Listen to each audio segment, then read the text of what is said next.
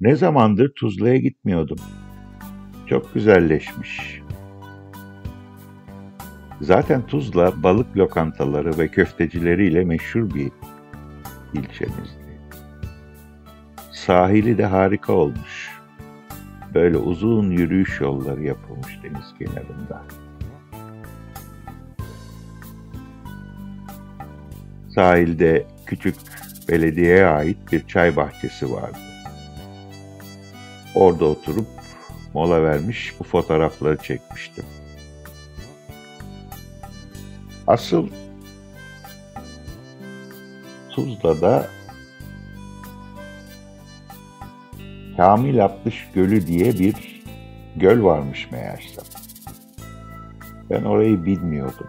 İşte o gölden görüntüler Lagün Park diye de geçiyor. Tuzla'da tersaneler arasında sıkışmış kalmış. Eskiden çöle dönmüş. 2001 yılında burası tamamen kurumuş.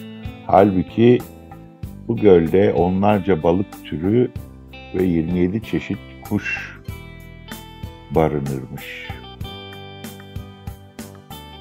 Daha sonra bir projeyle burası yeniden hayata geçmiş. Yani adeta can verilmiş. Bir tarafı göl, bir tarafı deniz olan bu park deniz tarafını görüyorsunuz şu an. İstanbullular için yürüyüş yollarıyla, çocuk parklarıyla harika bir yer olmuş. Burada belediyenin tesisi var. Çayınızı, kahvenizi, kahvaltınızı edebilirsiniz.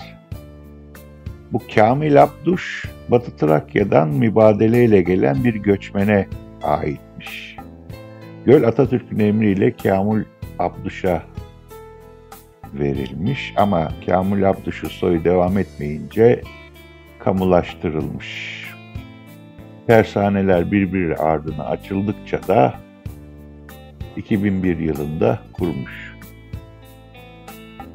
Tuzla Belediyesi ve Büyükşehir Belediyesi ile ortak çalışmalar neticesinde göl yeniden hayata geçirilmiş. Mutlu günler dilerim.